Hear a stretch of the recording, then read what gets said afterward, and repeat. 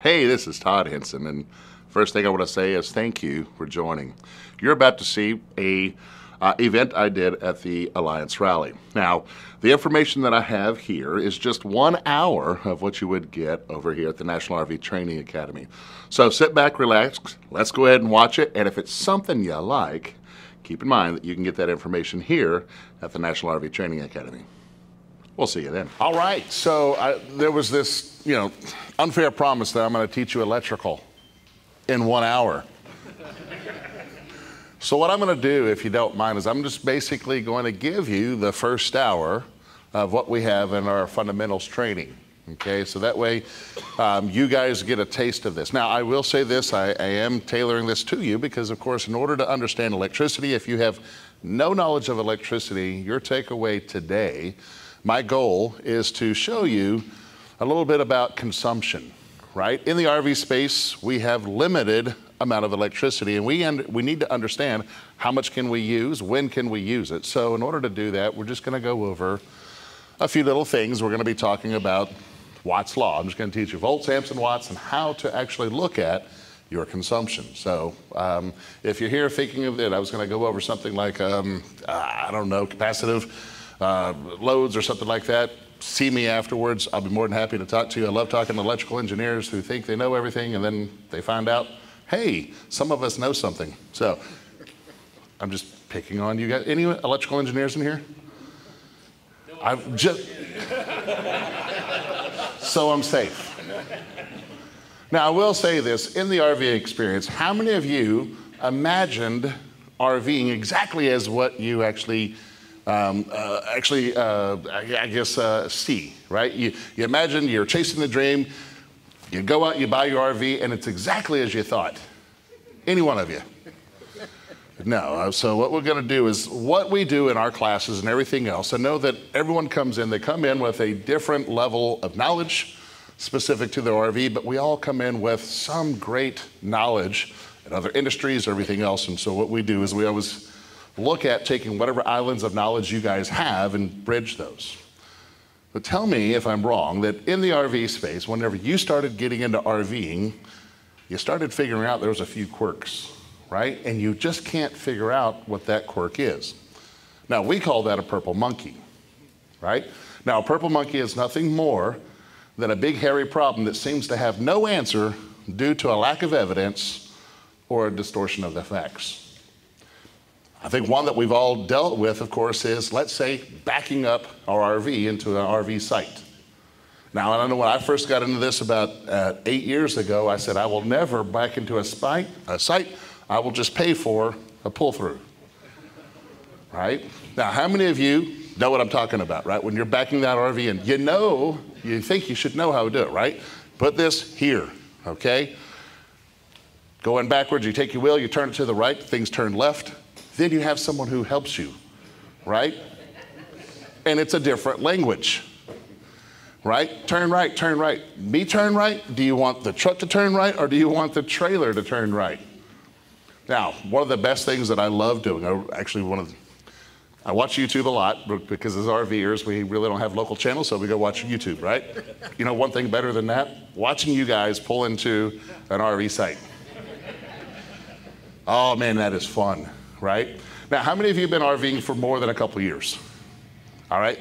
For you, maybe old hat, right? But for the new people, it's kind of fun, right? You want to watch someone else struggle. All right, so we're not the only ones. See, hun? Right? Now, for you new RVers, part of that is, is whenever you do it, you want to be nice. So you're just looking through the blinds, kind of pulling back the blinds, hoping they don't see you. For the rest of us has been doing it for a while, we don't care. We open up the lawn chair, we sit it out the lawn chair, open up a beer, just wave at everyone. You're going to back that in. All right, so that's a purple monkey, right? You think you should know how to do it, and you simply can't. Even more fun to watch whenever people have phones or walkie talkies and they're still yelling at each other. well, in the RV space, we can, we can learn it's kind of the same thing, right? We, we've worked on our houses, everything else, and then we get into our RV and it is different. And especially when it comes to electrical. Okay, I know for many of us, we feel that uh, you know electricity is just something. You know, I, I get it all the time. Hey, Todd, I want to take this, but you know, electrical is my kryptonite. So what I want to do is I want to reveal some of the stuff. Okay, because honestly, you know, as electricians, anything else, we're not that smart. Okay, we learn a couple formulas, we learn how to do this, and we just kind of keep it straight. So, what I want to do is I just want to go over some of the variables that we have when we're talking electricity. Okay? This is the last time I'm calling about this warranty, and if you don't answer, I'm going to call from another number.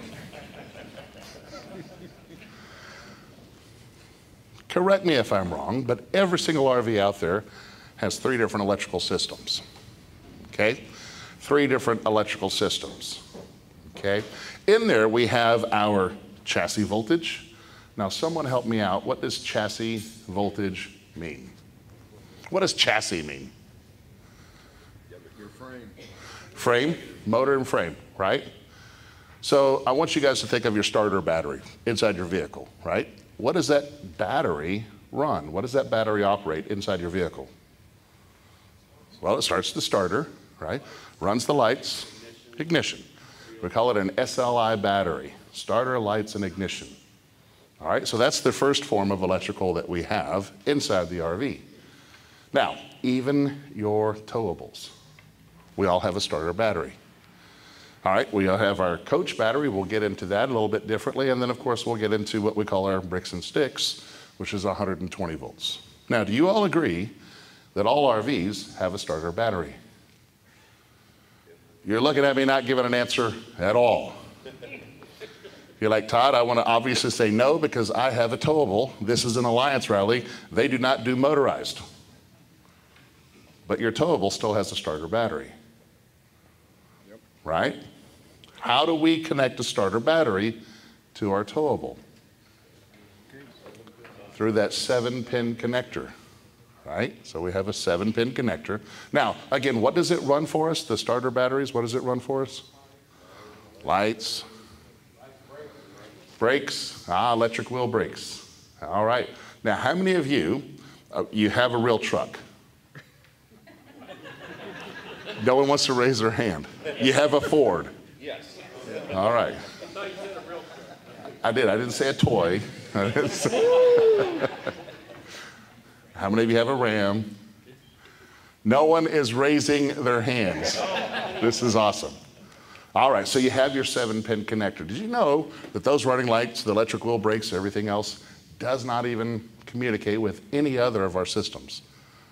Right? So it does not communicate with our systems. It's kind of funny because when you go to rallies, and everything else, they'll have that unit sitting out there and you see the running lights just flashing. And you wonder, man, I'd like to do that. How do they do that? But you have your starter battery and it's just running again. Your electric wheel brakes, your running lights, your marker lights. So let me ask you this, just thinking about this, because I know it has happened to you. You fall asleep driving, you wake up, there's a unit in front of you, and you see amber lights.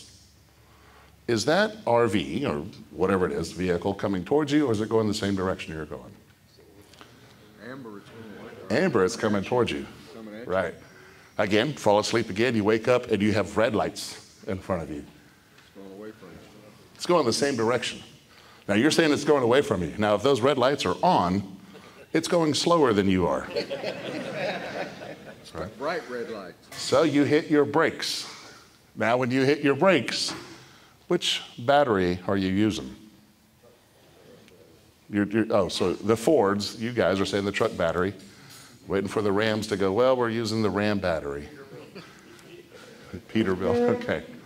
All right, so you have a different set of electrical there, and it's just going to be for our um, starter battery. Now, let's jump over to our coach battery. What does our coach battery run?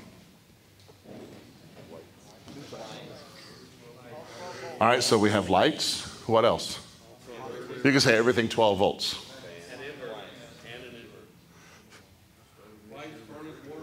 There we go. Lights, furnace, water pump. Possibly a refrigerator. Ignition. Okay. What? Ignition. Okay. Ah, no, that's a piezo lighter. A little bit different. Well, so they do make one. They do make one that is 12 volts, the starter. All right, so let's let's cover this. I'm going to say this that 12 volts in your RV, that's the brains. it tells everything else what to do. The 120 volts, that's the brawn. This is how I want you guys to imagine this. In your RV, we do have our starter battery that's going to be our running lights, our brakes, everything else. Beyond that, our coach battery is the brains to everything else. Point in case, your air conditioner. Air conditioner is kind of big. What do you think that runs off of? 12 volts or 120 volts? 120. What tells the air conditioner what to do? 12 volts.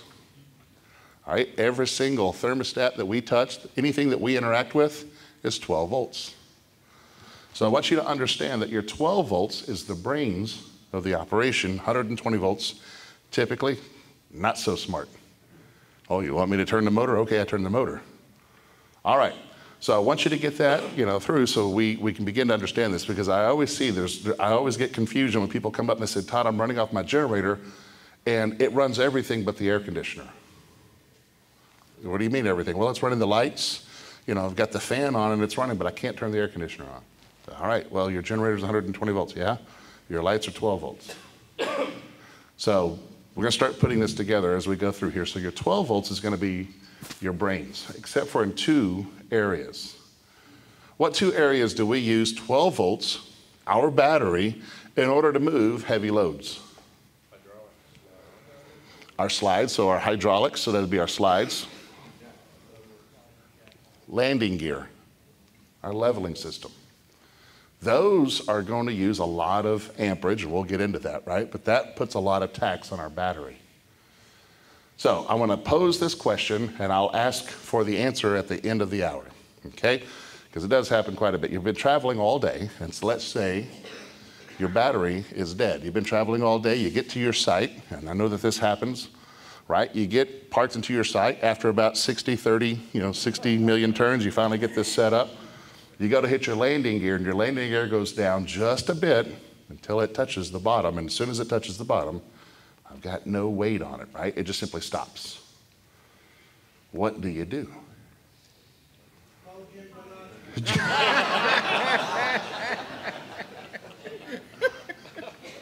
He's heard it this last time as well. He knows what to do too. right? Leave a voicemail, and the voicemail's full. All right, so what do you do? Here's the situation everything is working just fine, but your battery is dead. Okay? You're trying to get your landing gear down. The question is, is how do you get it down? You've been traveling all day, everything else. Let me ask you this. When you're plugged into your truck or Ram, are you charging that coach battery as you're going down the road? What charges that coach battery? Just barely, which is true. Just barely. Right? Well, that'd be your alternator, correct? All right. So when you're stayed plugged in, you've got a dead battery. It does happen, right? You have a dead battery, you're still plugged in, and you still can't get your landing gear down. If you can't get your landing gear down, you can't get your slides out. All you want to do is go inside and turn on the air conditioner. What do you do? Do you sit there and wait? Jump it. Jump it. Okay, so how do you jump it if you're still connected to your truck? Long jumper cables. Long jumper cables. All right, so I'm getting plug it in. Now, wait a minute. When you plug in your RV, are you plugging into 12 volts, uh, coach voltage, starter voltage, or what are we plugging into? 120. Well, what does 120 have to do with 12 volts? I thought that was moving for a second. I felt the vibration. I said, oh, it's sliding off. Converter. You understand converter? What does a converter do? It converts AC to DC. Takes voltage 110 down to 12. So it's basically a battery charger. Correct? So let me set the situation for you. Still plugged into your truck. Still got your seven pin connector, so the alternator is charging that dead battery. You go ahead and plug into shore power. Converter is now charging that battery. You assume between the two, you're still going to get your landing gear down, and guess what? You do not. You see, that battery is dead. Okay? What do you do? Pull out your jump box. Pull out your jump box. All right. The goal for this is to learn how things work so that way you can go ahead and take care of it without spending too much money, right? And there's something that we can do that doesn't cost anything. Now, I know by the looks of it, you know, that you see me and you say, Todd, he's very active. He doesn't mind doing a lot of work. But what I love to do is be lazy. How many of you know that the best worker you can ever hire, if you're trying to figure out a, a difficult situation, is hire the laziest person ever? Because they will find a way to make it super easy. All right, so the goal of this is to teach you how to actually get past that by being smart and being lazy. Okay? Now, so I'm just going to pose that question. We'll come back. Right? You have everything plugged in, you're charging, battery's taking a charge, but there's still not enough to get that landing gear down. Okay? So just want y'all to think about that. By the end of this course, maybe we'll have something there. All right. So I first asked you, of course, we have our seven pin connector, and I asked you guys, okay, if your starter battery is on or you have your alternator on, is it charging your coach battery? You all said yes. You all said yes. All right, so let me ask you this. We also know that that starter battery runs our brakes as long as we're plugged in. What should happen with our fifth wheel, God forbid, if we actually become unattached from our truck? Brakes should come on. The brakes should, well, wait a minute, the brakes should come on, but you just said, Todd, that it's the chassis battery that runs the brakes. If I come disconnected from the truck, how can the brakes come on if I'm disconnected from the truck? Your brake battery. say, say, say again? Breakaway switch. All right. Do you know your RV has a lot of switches on it, right? A lot of switches. Do switches go bad? Yep. Do you think there's more than one type of switch out there? Uh, okay. Well, we'll put them in three different categories. All right, so of course we have switches. And in the RV space, we have tons of switches. And if we know how switches work, we can also fix some problems. All right, so we have that breakaway switch. God forbid, should you come just attached. Now, in the South, we, we don't call it a breakaway switch, we call it a Jesus switch. you come disconnected, what are you going to say? Jesus, take the RV. right. Well, what happens is that switch is doing something for us. What do you think that switch is doing?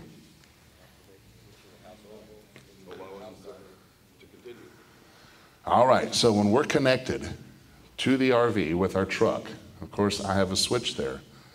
Now, this switch allows me to run power from the chassis battery. Once that switch is activated, it switches course and is no longer pulling it from the chassis battery, it's pulling it from the coach battery. Now, how can a switch do that? Say again?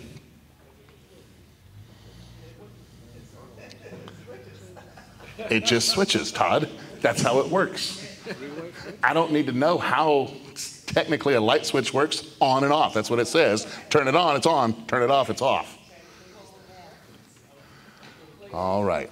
Well, and this is where we got to get to, of course, as we're going through all this. You need to understand that we have different switches in the RV and they do different things. And if we can understand just a little bit about how that works, then, of course, whenever we do have a problem, it's easier for us to identify, easier for us to fix. Okay? So I don't want to stay on switches too long since I was promised, or it wasn't me, but was promised that we talk about electrical. Okay? But you do have that switch on there. How many of you have actually just pulled your breakaway switch because you think if you're sitting on a slope, that if you pull that breakaway switch, the brakes are going to help your RV stay on that slope? Good. All right, any first time RVers in here? How many of you are afraid to raise your hand on this question? like, no one else is raising their hand. Obviously, we don't do that. Okay, it's like, how many of you have your awning out while it's raining? Honey, no one else has their awning out. Should we bring it in? Right? If you're the only one with your awning out, you're doing it wrong. All other RVs know something you don't. All right, so just without getting in it too much, okay, we want to make sure that we are not using that as a brake system, okay? It's only for emergency. All right, so we're just establishing this. In order for us to understand electrical, there's a few things that are going on. Let's get into some of the electrical things that we need to talk about. All right, so with our three electrical systems here, we just covered this. I think we're on what chassis? Yeah, coach voltage here. That's our interior lights, our water system. Now, how does 12 volts help our water? Why do we have 12 volts hooked up to water in the first place? Okay, so let's add, we have RVs, we have water. Where do we contain our water? In a tank, In a tank. And where are the tanks located? Below the floor. Okay? So when we want to flush the toilet, where's the toilets usually located? Above the floor, right? And if it's not, this is whenever you call Fibonacci, right? My toilet seems to be below the frame. I think I have a problem. How do we get the water from our holding tanks up to, say, our toilet? Water pump. 12 volts. Okay, so if we have, the 12 volts is there to help out, of course, move the water whenever we need to use it, okay? So on here, we're just looking at the different things that we have with our coach. I'm trying to speed through this so we can get over here so I can give you something that is gonna be a good takeaway, okay? Now, I will tell you, the slide outs and leveling system, those are gonna be the two things that draw a lot of power from our batteries, okay? And those batteries need to be at full voltage before we can use them. A lot of stuff we can get away with, the smaller things, but when we get to our batteries, when we get to our, I'm sorry, our slide outs and our landing gear, that's when we need to have full voltage. All right, so here, do I have coach voltage twice? Sure do. All right. Since I've been using the word voltage, let's get into understanding a little bit about electrical. In order to understand electrical, we have some of the variables. The first variable that we're going to cover is volts. Now, volts, I'm going to give it another name. It's pressure. It's pressure. Now, when we're talking about electricity, what we're doing is we're just simply moving electrons from point A to point B. We're using electrons. Did you know that electrons actually have a weight to them? And they actually take up space. I know it's hard for us to see, right? So typically, whenever we see someone talking about electricity, we always equate it to water, right? So let's think of water. I have it in a water hose. I need to move that water from point A to point B. I open up the hose bib. When I open up the hose bib, there's pressure on one side of that hose bib, right? As soon as I open up the faucet, water can be pushed out. So we're talking voltage. Voltage is another word for pressure. The amount of pressure that we can move those electrons. Now, in the RV space, what two forms of pressure do we typically use? 12 volt and 120. 12 volt and 120. Thank you. 12 volt and 120. All right. The lower the pressure, right, then the lower amount of electrons we can actually move. The higher the pressure, more electrons. All right. I want to equate it to a standard vehicle. How many of you had a standard growing up? How many of you are young and don't know what a standard vehicle is? Did anyone ever have to push start their vehicle? Oh, yeah. All right, so let me equate voltage to whoever is pushing your car. Now, my first car was a 79 Mustang. Thought it was a chick magnet, so that's why I bought it. I was 16, right? It did not have a starter, but I did not care. It was a Mustang. Now, those of you that know Mustang, what do you know about the 79? it's not a chick magnet. It was a four cylinder engine. It was the Pinto, just with a different horse's name. Right? but it did have that front scoop, and that's what I wanted. So I bought this, and I did not have a starter. I didn't care because I knew I could push start it. Now, growing up, I was about 20 miles away from high school. So in order for me, I had to choose. You know, I, could, I wanted to I wanted to drive my car because I didn't want to take that bus. I'm 16. I'm an adult. I should be driving myself to school. And I cannot, you know, have a girlfriend if I'm riding the bus. Now, in order for me to take my car, what else did I have to take with me? Friends, right? friends. Now, if I only had one friend, I want to equate that one friend to 12 volts, low voltage. Hey, in order for us to get to school, you have to push it. What's the hardest part of pushing a car? Well, the one actually pushing and not the one that's popping the clutch.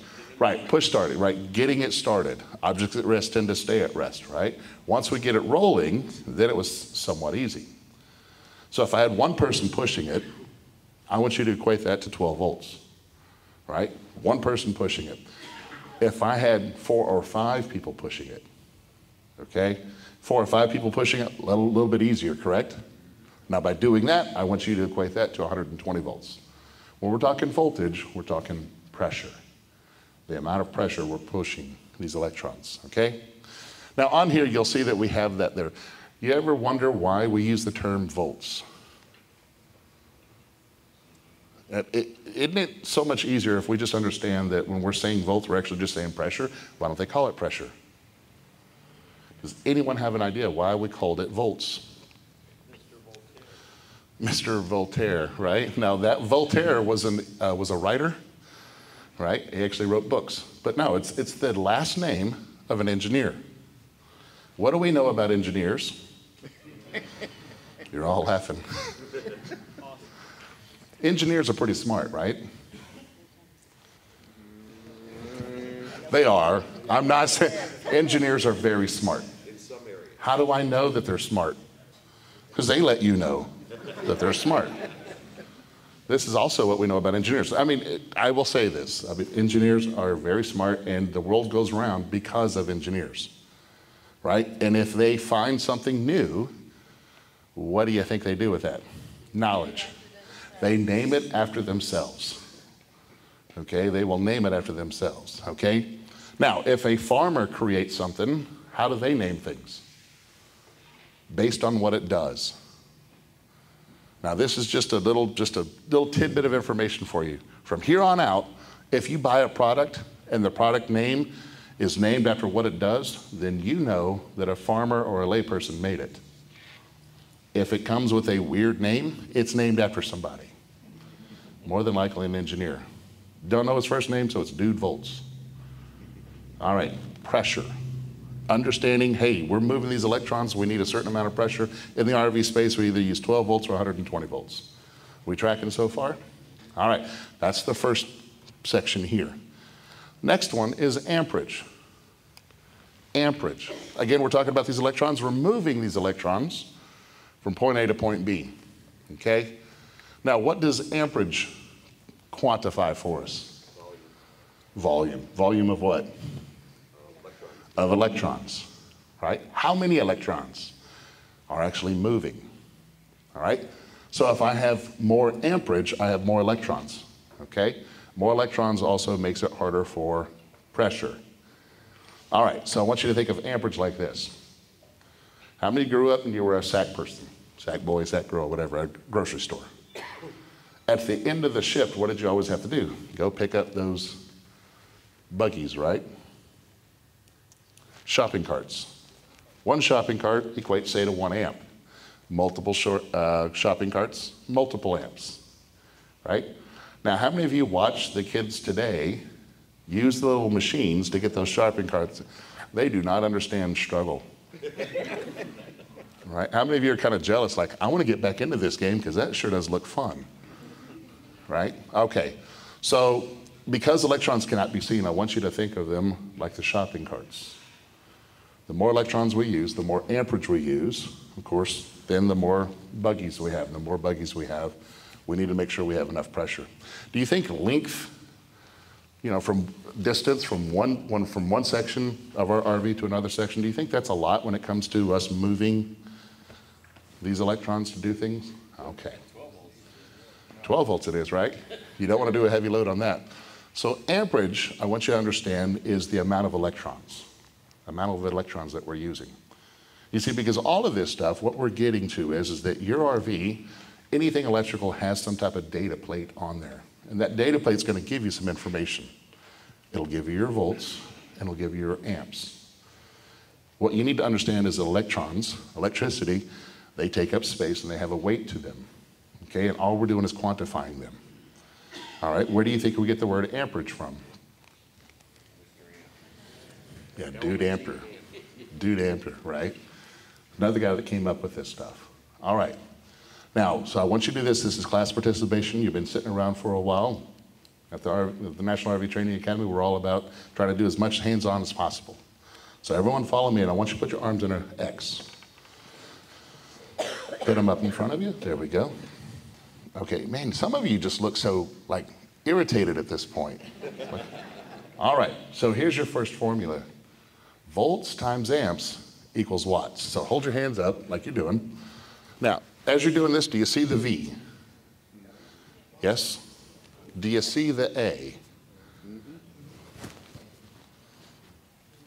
Some of you aren't answering, and I'm going to make you guys hold your hands up like Ben Hur until you get an answer. See, the warranty's calling over here now. Okay, you put your hands down now. When we're talking about electricity, we need to understand that we're quantifying the electricity, we're quantifying the amount of use that we're using, and we're using those two different variables right there, volts and amps. Now, I said that volts times amps equals watts, right? How many of you know, you don't know anything else, but you know the wattage of, say, your microwave or anything else like that? Some of you do. How many of you know the wattage of your Keurig coffee maker? You know how to what? Look on the sticker on the back, right? The data plate. All right, so now we're starting to put this together. Okay, now one more thing, let's look at watts, and I'm going to tell a little story. Okay, now watts equals volts times amps, or it's actually uh, the relationship between volts and amps. How much power can we actually use, or how much work can we perform? Okay, how much work can you perform? All right, so want y'all guys to look at this picture up here, right? I've got, you know, when we're talking wattage, we're talking, you know, a kind of like a water tower. Now, how many of you know what a water tower does for us?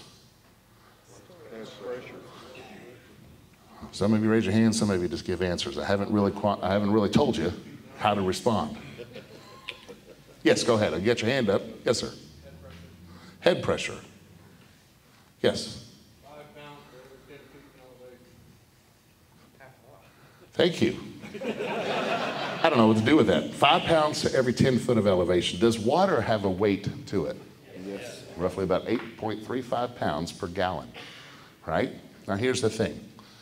All right, so when we're looking at, of course, consumption, right? We have in our RV, we have a water pump. Can we have a greater demand than maybe what the water pump can provide for us? Right? You learn that the hard way when you're the one in the shower, and then someone else opens up a faucet, right? All of a sudden the pressure goes down, and so does the temperature. The temperature totally changes, right?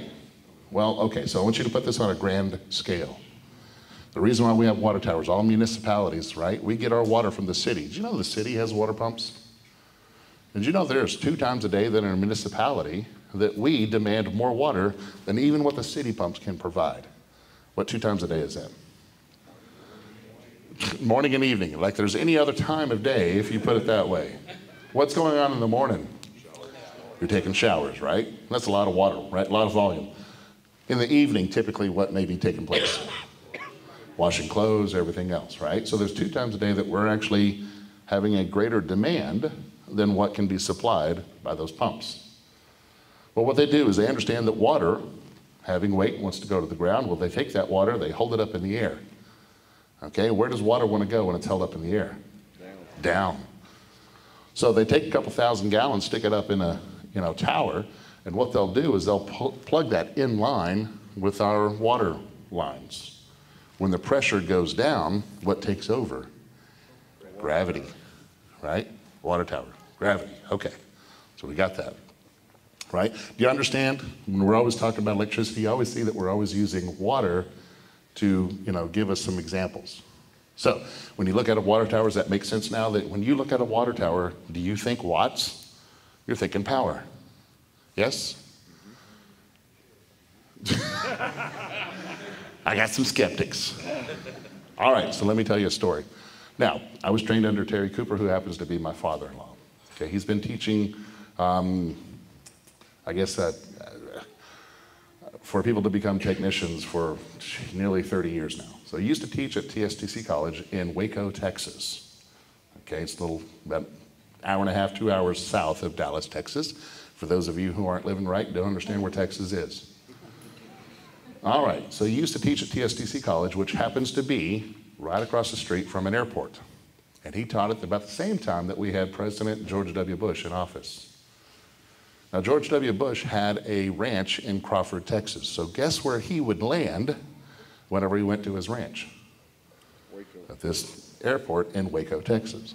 Now, Cooper, always teaching, um, of course, technicians. His classes were always after lunch.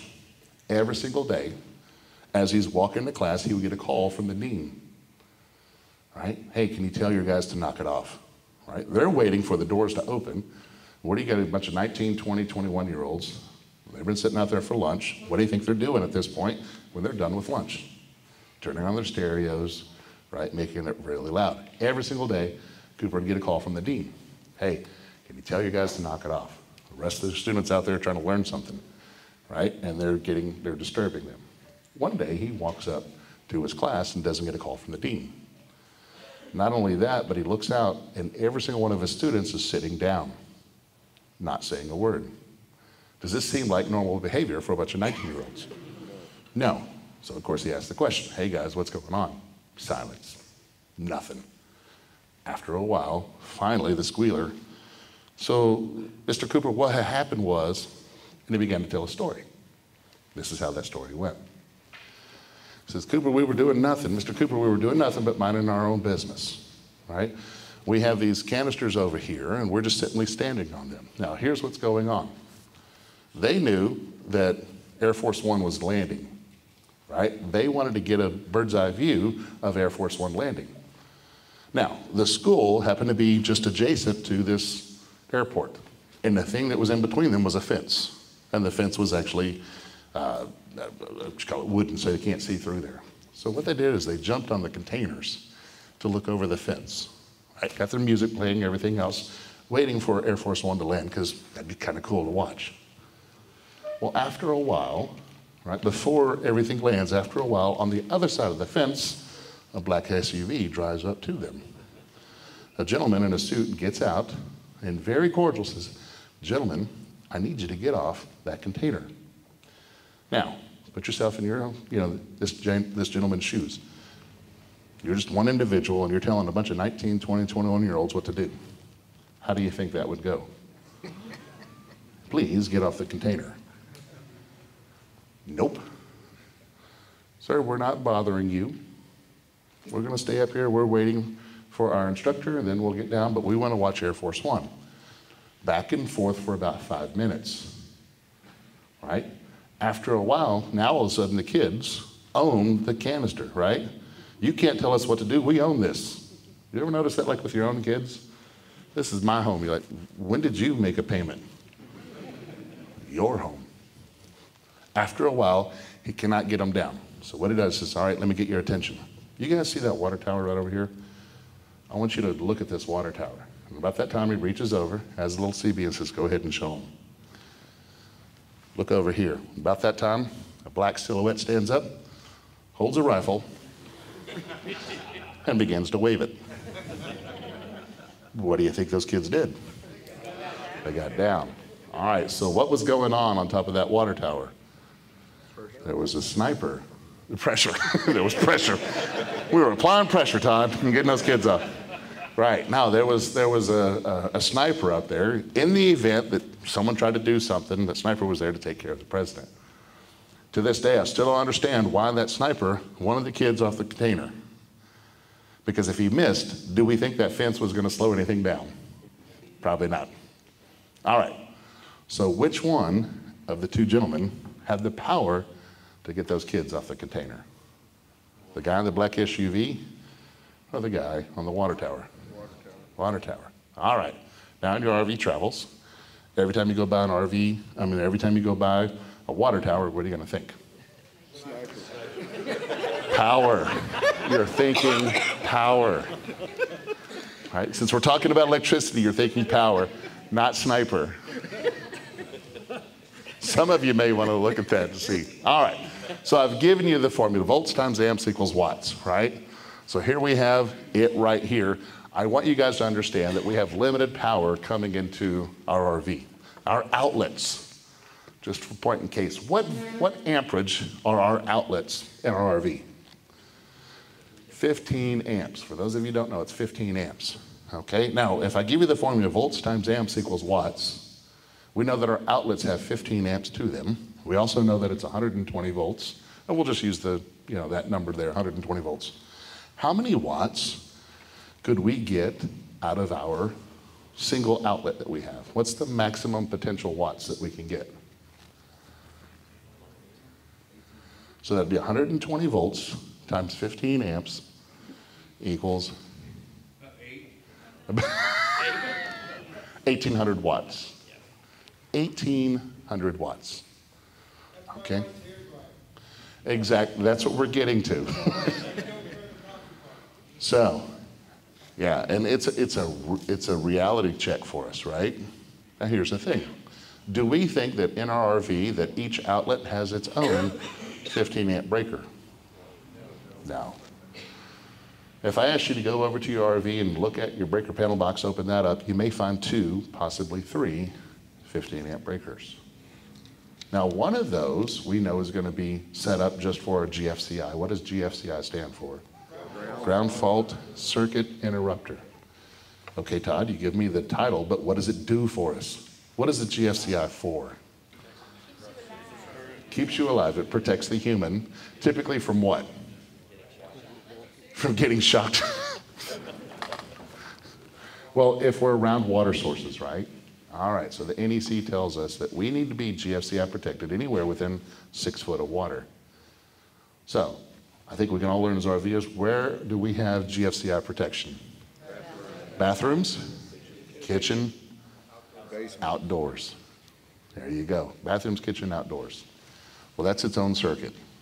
Okay? We, if, we're, if we're lucky, we have two more circuits. We understand now that we have a you know, 120 volt outlet, 15 amp rated. Now I want you to go home to your RVs today and count how many outlets you have. and you have one or two circuits. So what does that mean? Can we run a hair dryer and say a coffee pot at the same time if it's on the same circuit? No. Okay? Now, if it's in the kitchen, you run your coffee pot, yay, it's on a GFCI, so it's probably on its own circuit. But if you're in the bathroom running a hair dryer, you can't. Does that mean we can't run both at once no matter what? No. What does that mean for us? What can we do? Can't get more than 15 amps to that outlet. Go to another outlet. There we go. Right? Well, let's put it this way, because hair dryer is no fun. Right? Now, how many of you learned, you know, that you're cooking, you buy a little stove or something, a little portable stove or something like that, right? And you just plug that in. So let's just go with, you know, the necessities when it comes to RVing. Eating bacon and drinking coffee. What's that? Keeping beer cold. Well, I, I've even got a workaround for that. You don't want beer to get warm, so you just drink that as you're driving. Okay?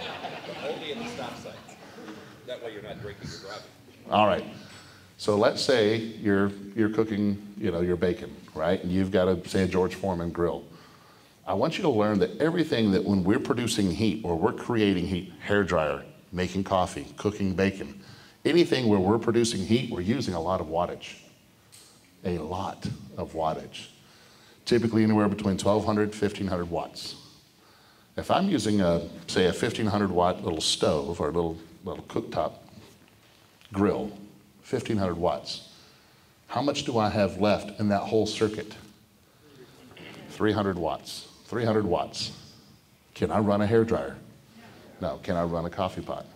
All right. But if I can find another outlet, and typically the bedroom has a separate circuit, all you have to do is choose which one are you going to put in the bedroom. Now, I want you to think about this because you may have a wonderful day, whether you choose to do this or if you take it somewhere else. Do you think your one plus, your spouse, whomever, they would be offended to wake up to the smell of coffee in the bedroom? Probably not. No, they- they would be offended? Okay. Well, this story no longer flies. You're the first person that ever said, No, I would be offended if I smelled coffee. Would you be offended if you smelled bacon?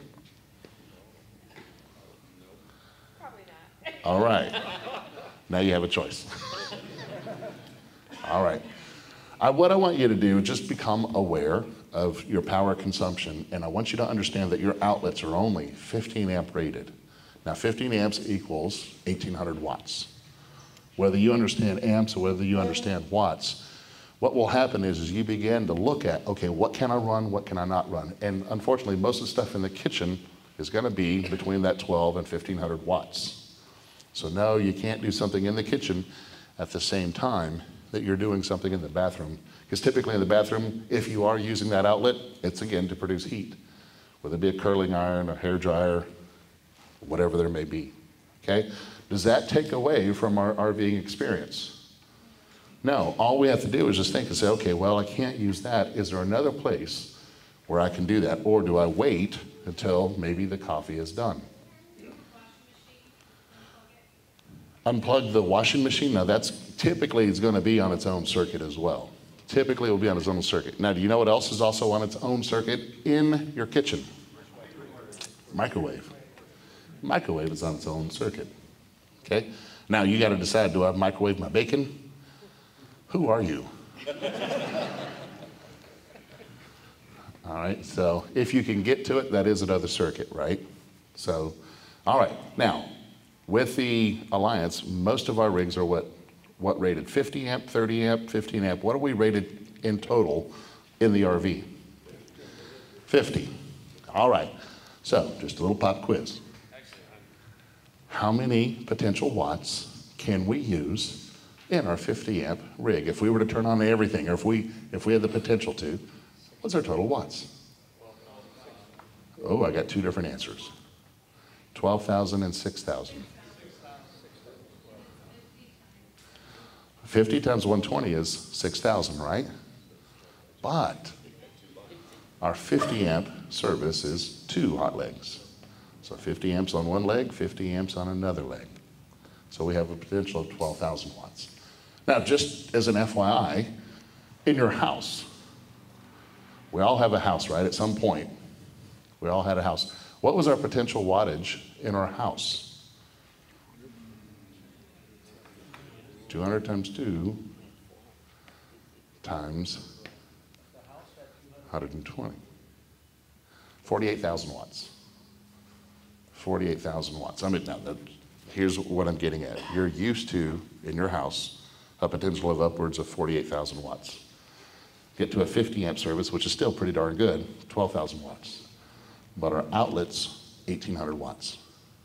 Okay? If we can understand just consumption, right?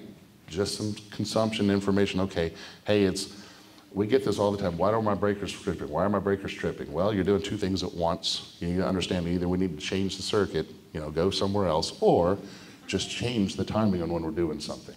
Okay? And then in our experience, when it comes to being out there, we hate it when breakers trip. We wonder what's going on. And the more we trip them, the weaker they get. Is just understand, okay, can I turn this on at the same time I can turn that on? Well, yes or no. Well, I can look at the data plate figure out whether I can or not. Okay? Now, I think I still have some time. I, do I? Yeah, ooh, 51 minutes. I got nine minutes. I wanted just to give you that brief information. One thing I always try and leave time for is questions. I have canned information that I go over on something like this. In our classes, I do the same exact thing, and that is ask what, what, what questions do you have regarding electricity that is preventing you from having a wonderful RV experience? So, does anyone have questions when it comes to electricity? All right, so can I get you to yell loud enough, or do I have to walk you up? You're shaking your head no. and I don't know what that means. Okay. Yes, sir. Inverter affects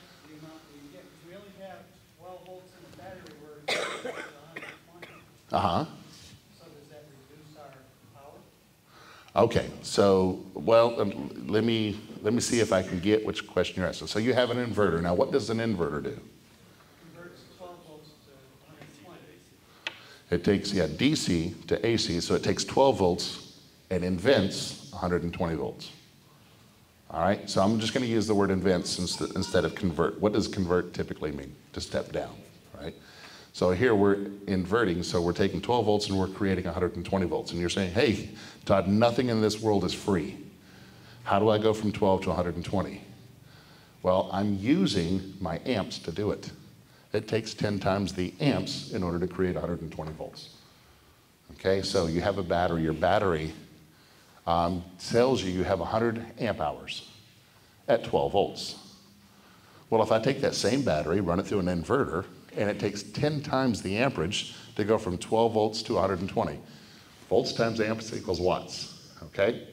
If I increase the volts, I can decrease the amps. But if I um, decrease the volts, then I have to increase the amps, right? All right, so if I go from 12 volts to 120 volts, it takes 10 times the amps. I have a battery that's rated at 100 amp hours at 12 volts. What's, what is that battery rated at at 120 volts? 10 amp hours or 10 amps. So now I look at my device. What do I want to run? And then I look at the amperage. Let's say it's going to be your Keurig coffee maker. We've done the numbers. We said it's 1200 watts. We divide that by 120. We've got roughly 10 amps. So, how long can I run that Keurig coffee pot through an inverter off of one battery? One hour. Right? All we're doing is just looking at the numbers and bringing that back. Okay? Yes, ma'am. Did I ever tell you no? I got a couple minutes to do it. All right, so this is what we need to know. All right? Now, in class, you'll learn um, in order to understand electricity, you have to understand men. And if you can understand men, you can understand electricity. There's your answer. All right. Electrons, in order for us to move electricity, they don't want to do any work for us unless we guarantee a couple things for them. First thing is, is they want to go back to the source. All we're doing is we're taking these electrons, they have a negative charge. We're stealing that charge from them. They said, hey, go over to this load, take care of that load, right? And they said, well, in order for us to do that, you need to give us a path home. So in electricity, 12 volts, we have our positive side, we have our negative side. 120 volts, we have our hot, and we have our neutral. In all cases, because these guys unionized, they came back and says, we will not work unless you give us a path back to the source, right? All right. The second thing we need to understand about electricity, they are lazy. These electrons, they are lazy. See, she's smiling. She goes, you said like men. Yes. they do not want to do work for us, right? And they will take the path of least resistance, right? So they can either choose to go do work, or if they can find a shortcut or anything else, they'll take the path of least resistance. All right, so let's start putting this together. When our battery is low, what are we doing when we charge it? What are we actually doing to the battery? We're loading these electrons back in there. Okay? Now, if we're going to a battery, is the battery making them, those electrons do work? Now, what is a battery? What do we know a battery for? What does it do for us? Stores, Stores electrical energy. All right, so put yourself in the shoes of an uh, electron. Okay? You're sitting there, you have two different sources, because I said it can come from the alternator or it can come from shore power. These electrons are lazy, they don't want to do work, and they have an option. Hey, go over to this landing gear, go through this motor, and provide power to this motor, and then we'll give you a path back. Or go over to this battery and hang out there for a while. Okay? Now, what do you think the decision of those electrons are going to be? They're going to go to the battery instead of go and do work. Because what do we know about electrons? Lazy. Here's the situation that battery is dead. When that battery is dead, the voltage is lower. Okay? Now, typically, I also go over, you know, just a couple things, but we understand that electrons are lazy. If they have the opportunity to go to a battery, then a majority of the power that is coming in, both from our converter and from our alternator, goes to the battery leaves very little power left for us to do anything else. Okay? Knowing that, what should we do? Current situation. You've been driving all day, it is hot, you got swamp butt. You don't have a Ford that gives you air conditioned seats. You got a Dodge for whatever reason. You want to get inside and turn on the air conditioner. You got your landing gear down. It just touches the ground. You can't get anywhere. You can't get it off. Hey, I've got these you know, jumper cables that are eight foot long. I can't even jump off that battery.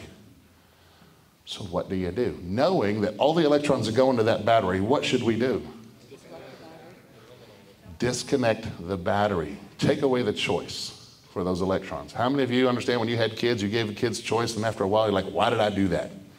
Here's your only choice do this. Yes, we take away the choice of these electrons. So we disconnect the battery. One last takeaway you got an option. Do you disconnect the positive cable or the negative cable? Negative. What's that? Just turn the battery disconnect switch as though that's going to work.